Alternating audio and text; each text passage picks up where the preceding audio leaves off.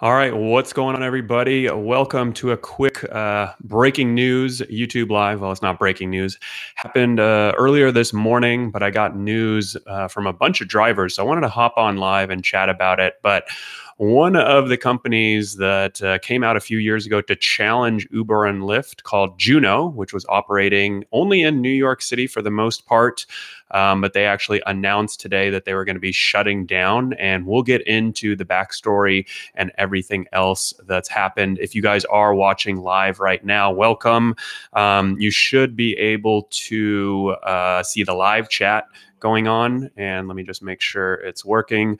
Uh, looks like the audio is coming in loud and clear. But if you guys are watching live right now, you'll have access to the live chat down below on your phone, or if you're on desktop, it should be over to the right hand side. Looks like we've got a bunch of people tuning in live already. So appreciate everyone who's coming on and uh, I see uh, that, there are a bunch of New York City drivers in here. So, uh, like I said, I'm going to go. You know, there have been a bunch of stories. Juno actually sent out an email to all of their drivers uh, today. And basically, I think anyone who's really been affiliated with the company. But long story short, I don't know if you guys remember all the way back in 2016. So, if you weren't driving then, uh, it was a different time then. And this company, Juno, came along and they said to drivers, hey, we're going to have 24 7 phone support. We're going to have a tip option in the app. This this was before Uber had either of those things. And, you know, Lyft didn't have phone support. They said they were going to give drivers equity in the company. They said that they were going to lower commissions. And you can, as you can might imagine, drivers were like, wow, this sounds great. Uh, sign me up. And lots of drivers frankly did sign up for Juno. I actually just checked my email since um, you know we signed up uh, for Juno or I signed up for Juno myself. So when they would expand out of New York City, that I could drive for them here in Los Angeles, and they had a referral program. I never made a single penny off the referral program because they never went outside of New York City, but just through the rideshare guy alone, we signed up nearly 5,000 people for their waiting list. So that's not actual drivers, but it sort of just shows you if one person can sign up that many people, just how many people were excited about Juno. And so that was sort of then in 2016. And what kind of ended up happening was that they got some market share, but they never really went anywhere. They ended up being acquired by a company called Gett, I think, for $200 million. Now, Gett is an Israeli rideshare company. And when Gett bought them, I believe it was in 2018, all these drivers who had been driving for Juno in New York City thought that they were going to get paid out. And, you know, since they had been getting equity in the company and all this great stuff. And it turns out that a lot of those drivers kind of got got screwed. They didn't get anything uh, from that sale. And so, kind of what started off as this huge promising new rideshare service that was going to take on Uber and Lyft and, you know, was really listening to drivers uh, that was actually well funded too. I think they got funded with over a $100 million by a guy named Talmon Marco, who is very rich um, and very successful entrepreneur from his last company called Viber. Uh, they basically today announced that they're kind of giving up, you know, get Juno. They were, they were operating under the brand Juno in New York City, but they basically announced today that they were going to give up. And uh, I'm going to read this from a TechCrunch article that I saw because I think it's interesting. But basically, they said that the company announced that it's closing its operations in New York effective today.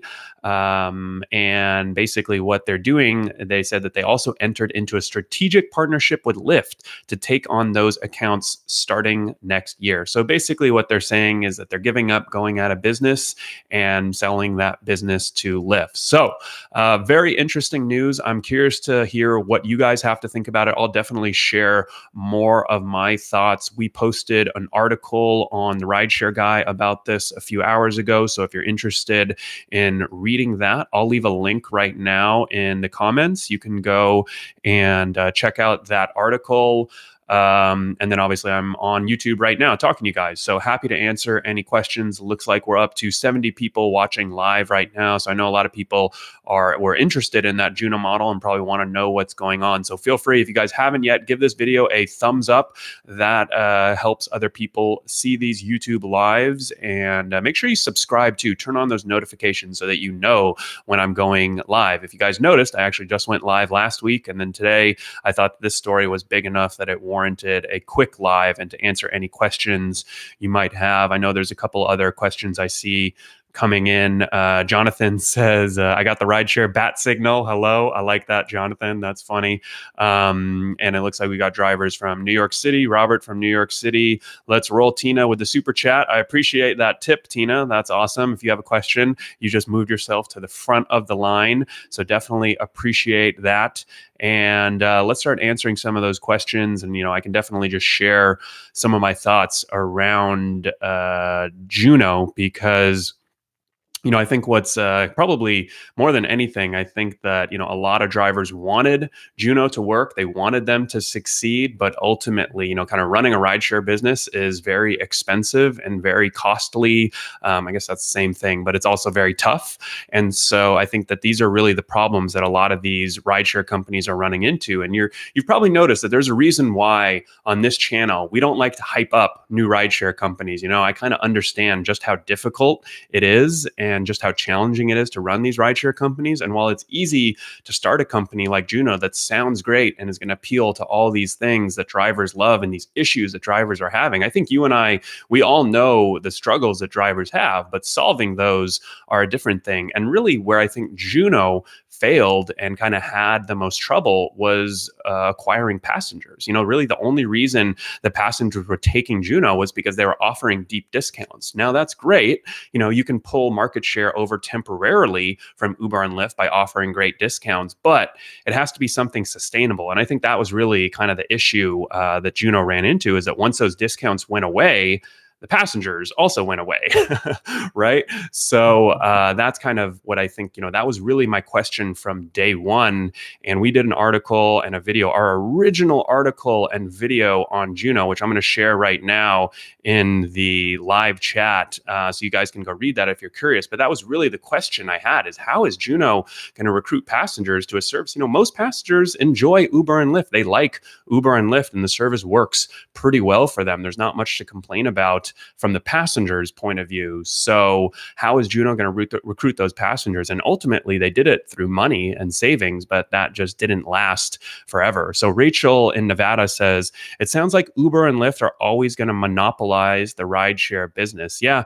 You know, so one of the interesting things I saw that basically what uh, Gett CEO said uh, when they were kind of asked, uh, you know, why or you know why they folded or what happened was one of the things that they talked about was just the fact that regulations had made it really tough for them. So if you guys aren't aware, in New York City, drivers are paid a minimum wage, which I think is a good thing. They're not employees, but they're guaranteed a minimum wage, and what that minimum wage is based on though is is these things called utilization rates. So if the companies aren't keeping drivers busy, they basically have to pay more uh, in form in the form of minimum wage. And that was one of the things that Juno pointed to.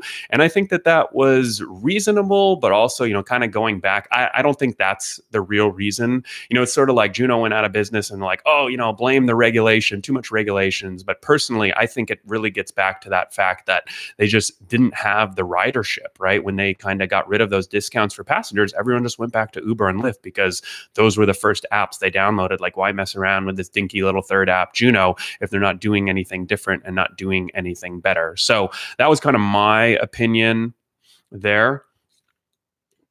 Uh, Robert is in here from New York. So it looks like we got a lot of uh, Juno drivers or maybe just drivers coming in from New York. So, Robert and Steven, uh, I know you guys are from New York. I'd love to hear your point of view on Juno. I'll share some feedback too that I've already started collecting from New York Juno drivers in case you're interested. I know we've got a lot of other drivers uh, Rachel from Philly, Jerry from Vegas. You know, one of the good things that I think uh, drivers, you know, in New York right now, Uber and Lyft have actually put a hiring freeze. So they're not hiring new drivers uh, in New York right now, is what I've what I've heard. You know, I'm not in New York, but that's what people tell me. And uh, so you know juno and i guess competitors in general one of the nice things about having competitors that you can go work you know if you needed a job and you can't get one with uber or lyft um, you can go work for them i do know that uh, via is still hiring drivers in new york city so that's one option. I'll leave a link right now if you guys are interested in learning more about VIA or signing up with them. I know they're primarily operating in New York City, uh, Washington, D.C., and Chicago. They're not out in L.A. in full force. I know they have a little pilot here, but they're not hiring tons of drivers. But uh, we've heard pretty good things, and uh, that drivers actually, uh, Vias at least says that their drivers make more than Uber drivers. So that's interesting. Uh, Quest 360 says, I really wish that Juno launched in other cities. Being limited to just one city is what killed the Juno app. And, you know, I did, I feel like I just got a not- notification actually in the past few months that Juno was expanding their coverage to the New Jersey airport. But it just, it does sort of seem like, you know, they got things going in New York City and they just never quite got the traction that they were hoping for. And of course, when they sold to Gett, that's usually not a good sign. And then today, uh, that's an even uh, much worse sign. Trader or tra- Trader 1727 says, "Hi rideshare guy, I'm from New Jersey. I've been waiting for Juno to cross over across, uh, I guess the river or the bay or however you get from New York to New Jersey. Obviously, I'm I'm from California. I don't know my New York uh, East Coast geography too well." Steven says, "I wanted it to come to Cali," and I think Steven, you know what? I think I really agreed with you. I think that this was one of the things that I you know, I wouldn't say we went all out in promoting Juno, but I was happy to cover them because I thought that they were one of the best chances drivers had uh, to sort of unseat the Uber and Lyft duopoly that is out there, right? Like these days, you know, we've done a bunch of videos. It seems like Uber and Lyft are the exact same company doing all the exact same things and all the exact same shitty things. Uh, but Juno was supposed to be different. And I think that's what is unfortunate about them uh, sort of going under. Jason with the $2 super chat, he says, I need a shirt in 3XL, please. Well, Jason, these shirts are a little more than two bucks. but uh, if you guys do want a shirt, you know, I don't know if I'm going to be giving any away today, but we do give them away on uh, all of my monthly YouTube YouTube Live. So that's a good reason to subscribe to the channel and also uh, turn on notifications so that you know when I go live. And if I do do a giveaway, um, then you'll know and you can win. I just left a link to the shirt on Amazon. This shirt is actually only 20 bucks. I said it. I don't think we actually make any money off of these shirts. Uh, but I wanted to put them up there. So I left a link there. If you guys do want a shirt with our new logo, you can check it out there.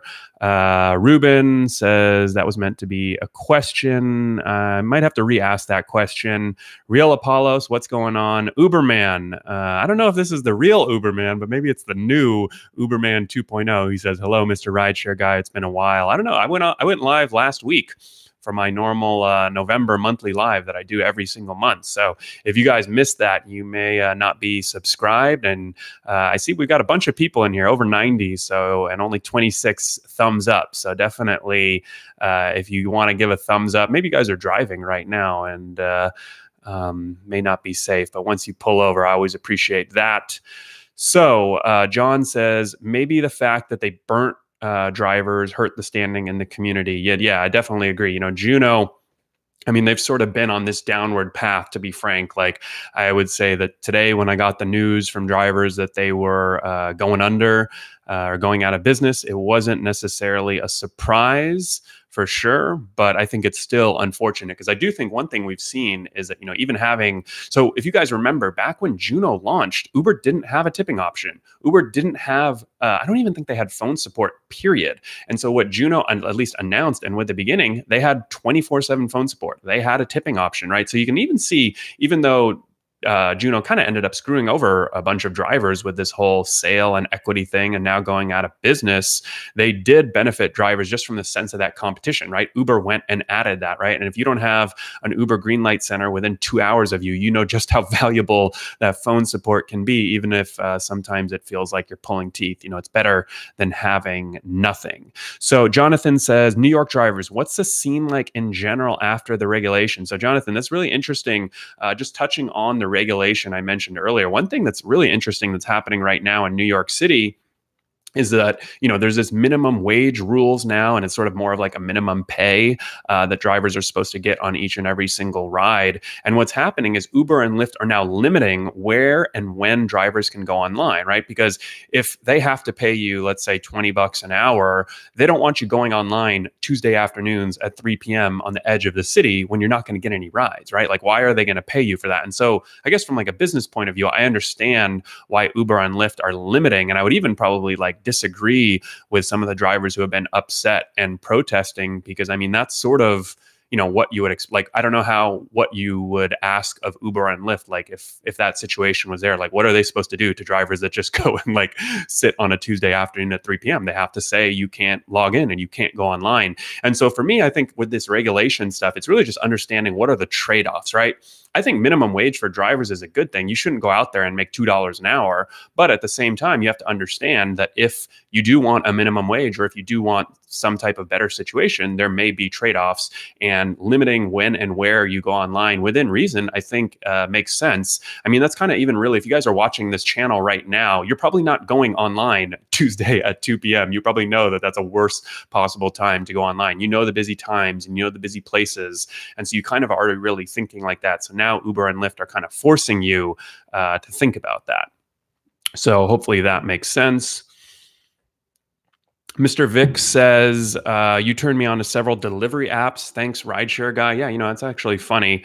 Uh, right now, drivers, you know, there may be Uber and Lyft only, but there are a lot of delivery apps out there uh, that I wouldn't say, you know, are better or worse, but they're different.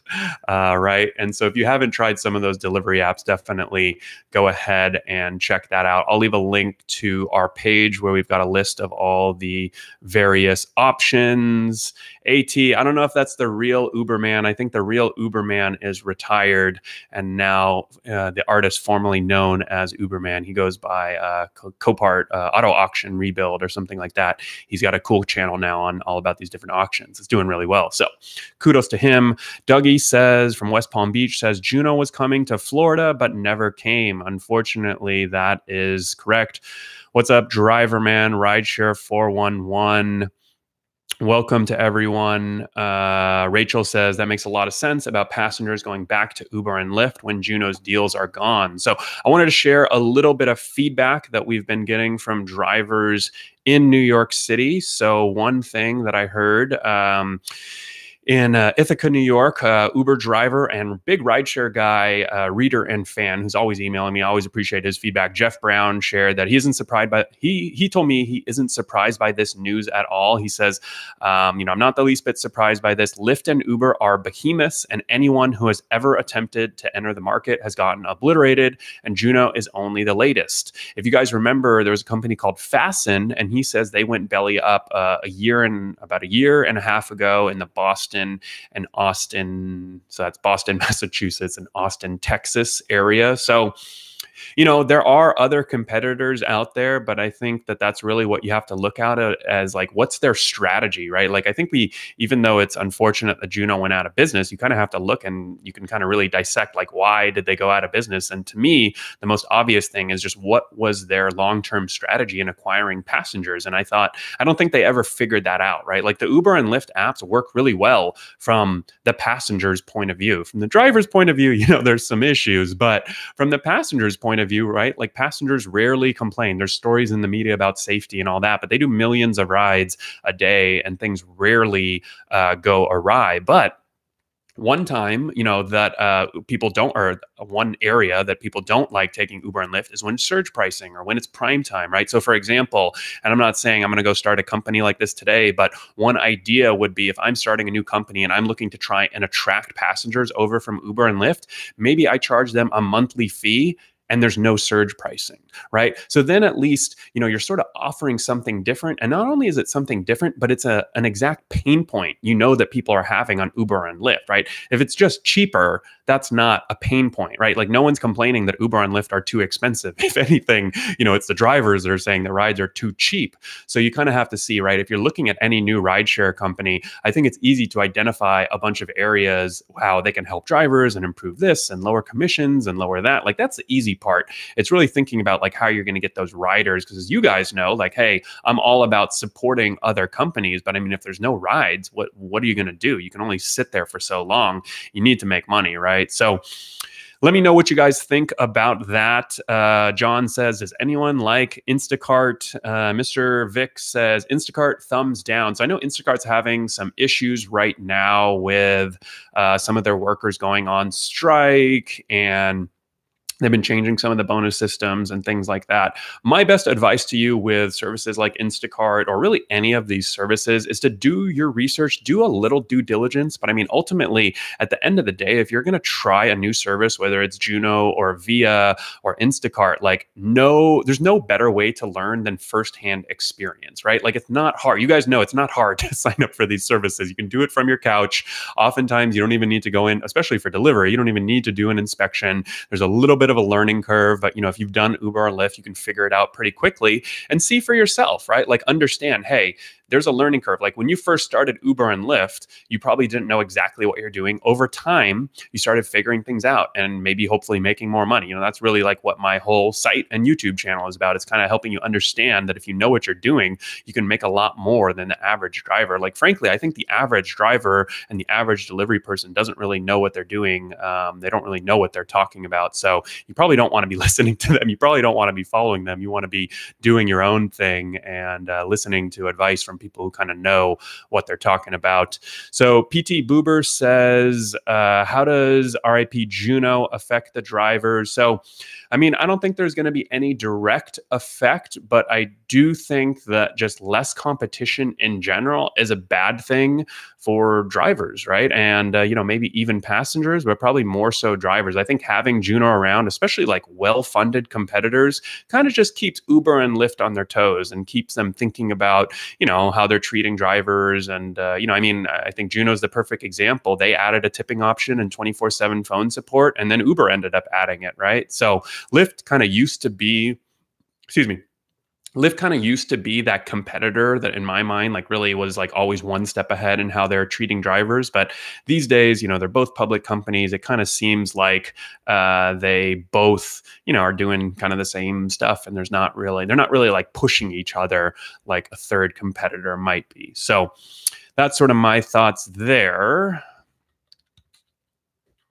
Jason says surge price is how much it should really cost for all rides. So, I mean, that's a good example, Jason, right? Like if you're starting a competitor to Uber and Lyft and you're trying to attract passengers, maybe you're going for those passengers who are, you know, don't want the price variability, right? They don't want some rides to cost $10 and if it's surging to cost 20, maybe you just charge 15 every single time, right? And maybe that's sort of, you know, like flat rate pricing, for example. Maybe you ignore any fares that are, you know, minimum fares, right? So, I don't know, I've talked to a lot of people and companies about that. And so that's sort of one of the ideas that I had if you were starting a new company and you're really trying to attract passengers. Like I wouldn't even bother with the minimum fares. I would really look for those rides that were like three to four miles and above, since we know that drivers would like them. Um, and it's also just more of like kind of a premium or quality passenger, right? The passenger who wants to go like one mile and pay six bucks is probably not the best customer. And so that's sort of how you you can now sort of start to see it's like, okay, I've got that to differentiate me. I've got no surge price pricing to differentiate me. And we just didn't really see any of that with Juno. Juno's strategy was frankly just to charge less than Uber or Lyft. And it worked to gain some market share, but it obviously didn't work to sustain the company so clearly, uh, Juno never came to me for consulting because uh, I'm not saying I could have saved their company, but I think that uh, like I'm not surprised. On you know, even though I wish they would have succeeded. I'm not surprised that they didn't. So hopefully, uh, I appreciate that comment, Jason. Uh, Stephen Rohn Senior says, "See, being that Uber is struggling in the stock market, do you think the company is in danger? Being that they have stockholders to answer to, I don't think Uber is in danger at all. I think that Uber's CEO Dara Khosrowshahi. I mean, once you're a public company, you really have to watch that stock price, and their stock price is in a tumble. So I would say that if he doesn't turn things around in the next six to twelve months." his tenure at Uber could be over, but I don't think the company itself is going anywhere. So hopefully that answers your question. What's up, uh, Rideshare Lisa? Good to see you back in here. Wow, last week and this week. Thanks for joining. Gilbert says this is why Lyft and Uber need to be regulated. You clearly see that they have a monopoly. That's why both of them get away with what they do. And, you know, I think that for uh, a lot of states and cities, Gilbert, you're right. There are a lot, you know, obviously in California, they passed AB5 to regulate Uber and Lyft, you know, make them classify their drivers as employees. In New York City, they're passing all these different uh, minimum wage and utilization and things like that. In Seattle, I saw that they're looking at a min. So what's really cool, guys, is in you know I, know we can all we, I won't get into like the political side of regulation, but uh, what's one thing that I, I think you guys are all to like in the city of Seattle, I saw that the city is actually looking at a minimum wage and looking at creating a third party center to handle unfair deactivation claims, right? So if you ever have talked to a driver who's been unfairly deactivated by Uber or Lyft, you know that you're kind of screwed or like shit out of luck if that happens. And so the city of Seattle has actually gone out and they're going to start charging a little bit more in taxes on every ride to passengers, but they're creating they're spending like millions of dollars to create this kind of very cool third party center where if you get deactivated by Uber or Lyft, you go to them, basically the government regulators,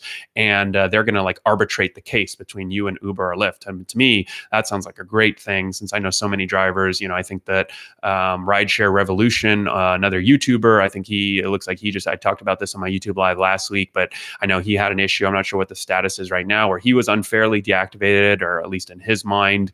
And uh, right now, he really has no recourse. He's kind of screwed out of luck. But with something like this, he would be able to take it to a third party. So, I think stuff like that is pretty interesting. Jay says, uh, My last Juno trip ended at 6 p.m. tonight. Had another trip lined up, but the passenger canceled. Well, if I had a beer with me right now, I think that we could all, uh, you know, pour one out for uh, Juno. We'll have a moment of silence for Juno. Okay, that's enough.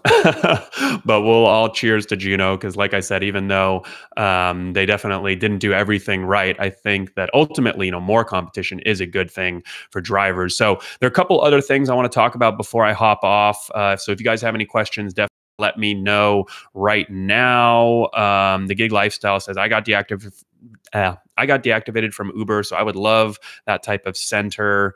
Uh, Andrea says Amazon Flex is the way to go. Good money, no smelly food or prissy passengers. Yeah, we've got a bunch of articles and videos on Amazon Flex, so definitely check that out. Dougie says zero ride share is coming. That's Z I R O, 100% uh, of the fare with no sign up fee. So Dougie, that's a perfect example of something that sounds great for drivers, but also for me, I would just think about how realistic it is, right? Like, obviously, these companies have to make money somehow. So, how are they going to get passengers? Are they well funded? What cities are they launching in first? Um, not that it's a bad thing, but I think go into this with a healthy skepticism, right? Like I wouldn't invest all my time or any of my money in any new company until I sort of see a lot more for them. But hey, you know, I think it's definitely a good thing if uh, more of these companies come out. Jay says, sorry, just got here. No worries. We're still going strong. And if you guys are just joining right now, definitely go ahead and give me a little thumbs up. Subscribe to this channel if you uh, haven't already. And um, you can also replay this stream if uh, you're just joining late or uh, you are watching at a later moment. You can always leave a comment and I'll get uh, back to that. I want to answer one or two more questions. Um, if you guys are just joining now, though, you can replay it and get all the background on Juno. Uh, Steven says, Apex. I'm not sure what Apex is, Stephen. I think you mentioned that earlier. It sounds familiar, but uh, let's see. Apex Rideshare. According to their website, it's more than a ride, it's an experience. So on their website, it says Apex Mobile is not a transportation network company. Okay. So they're saying they're not like Uber or Lyft, but they allow you to reserve your favorite driver. We drive and deliver. You simply reserve and request. So without getting into all the details, this sounds pretty similar to UZURV, U-Z-U-R-V, which I think is a super cool idea. Just the one thing you have to be careful with is that uh, companies like this, if they're connecting you with a passenger over an app, or you're basically, if you're doing doing a ride without being on the Uber or Lyft platform. Technically, it's illegal, right? So obviously, lots of drivers do this with their regular passengers and all that. But if you're just like finding random people um, through an app, that is basically illegal. So you just have to understand the potential repercussions there. Mike says, What do you think about Lyft's lockout in New York City? So, Mike, I think you're so there's two things that Uber and Lyft have done in New York City. The first is that they limit when and where you can go online. And then I just got got screenshots from a driver, a good friend, Cameron, in New York City, who I've had on the podcast, and he showed me something really interesting. Uh, let's see if I don't know if I can share it right now, but Um, basically, what he showed me is that Uber and Lyft's new queuing schedule. So it really looks a lot like DoorDash, for example, where you sort of have to select a schedule ahead of time. And then, you know, it shows you like, okay, 6 a.m., 7 a.m., 8 a.m. is available, but 2 a.m., 3 a.m., 4 a.m. is all full. And so I'm still, to be honest, I'm still learning a little bit about that since I'm in LA, but uh, it looks kind of, uh, you know, pretty restrictive, I guess you would say. So if you have any more feedback, uh, definitely let me know. Um, let's see. Joel says, I'm from New York City, locked out of Lyft since early October. So feel free to let me know. I don't know, Joel, if you mean that you are locked out because of like a deactivation issue, or maybe you don't have a high enough acceptance rate or something like that. Uh, but let me know there. Let's see. What other questions? Uh, do, do, do, James Cook says it seems that Uber turns surge on and off when they want. Normally, there isn't widespread surge here in the Bay Area, but today it's been surging everywhere like it used to be two years ago. Yeah, you know, one thing I will say, you guys, is that Uber like with their algorithm, right? It's it can be very manual. Okay. There's a lot of levers they can push and they can pull. So while it is important to understand the sort of surge patterns in your city, I will say that it can definitely, you know, there can be surge in one place uh, one week and you know every week, and then they change something in their algorithm or you know offer a different bonus or whatever it is, and things are different the next week. So I think it's just important to kind of understand that and learn and adapt. You know, really kind of control the things that you can uh, control. So Jay says, I'm in New York. Lyft only lets me online in New York City when it is busy. Yep. So that's exactly what uh, I was talking about there. Joel, though, says he's been locked out of Lyft since early October. So if you guys want to shoot me an email with details, Harry at the rideshareguy.com, because I think there are some pretty, uh, very different regulations in New York City right now. And we're going to be doing a couple articles and video on that because I think it's super important to kind of sort through it all. It is confusing, though, right? So Mike says Uber is giving you hours to work when you want, but Lyft uh, is really only saying when they want. So they're sort of saying that Lyft is kind of like either allowing you on or not. But I think right now, Uber and Lyft are testing a lot of things that are frankly just more restrictive in New York City. So we'll see what happens there. Uh, so I think one of the and actually uber vegan says harry lyft started off with a schedule system back in the very beginning of their operations but people kept staying online regardless and they dropped it. So actually i think i started driving for lyft like five years ago when they first had that scheduling system. So we'll see uh, if they kind of come back to that and Jay says if you do 180 trips in the last 30 days, you can go online anytime in New York City. Leo says Via is the other good way to drive now in New York City. And so definitely recommend Via. I've been hearing good things. You know, obviously it's important to kind of drive for multiple cities. Uh, Dougie is really talking about this advertisement. I'm going to have to put you in timeout, Dougie. I don't know why you keep typing that. Um, and Jay says Via is mostly like Uber Pool. Yeah, you know, the thing I like about Via, though, even though it's mostly Uber Pool, all the passengers know that it's shared pool and that it's Uber Pool. And so they're sort of like, they tend to be ready a lot quicker. This is at least a, what I at least what I hear from drivers. And they don't go and make all these little stops. It's sort of more thoroughfares. And they've got some other options now, but that's kind of what, uh, what is most of their business. So hopefully that update was interesting for you guys. There's actually some interesting stories happening in New York City right now. So I'm going to be doing some research on that and talking to a bunch of drivers in New York City. Uh, too bad I'm not driving in New York City. Maybe I could even uh, make a trip out there and do some research. But for now, I'm going to ha- go and uh, do a little research and I'll get back to you guys. I appreciate you all joining for this YouTube live, though, and uh, getting a little info about Juno. If there was a question that I didn't answer, feel free to leave a comment below and uh, I will go ahead and get to that when I have some time. Uh, otherwise, hopefully, you guys enjoyed this live on Juno. And unfortunately, they're going out of business. Uh, if you haven't given this video a thumbs up yet and you enjoyed it, please do so now and go ahead and subscribe to the channel and turn on notifications. You got to hit that little bell so that you know when I'm going live. If you missed, I went live last week. So if you missed it, you may not have notifications on. And if you're watching right now, do it right now before you forget because there's a lot happening and I'll be uh, here to keep you guys informed. Appreciate it and uh, take care.